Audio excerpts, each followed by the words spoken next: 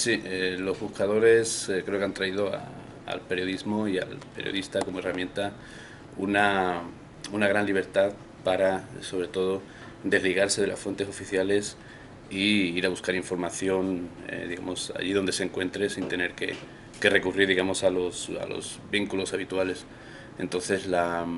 la cantidad de usos que, que, puede ofrecer un buscador para facilitar ese dato que no se encuentra, ese dato al que,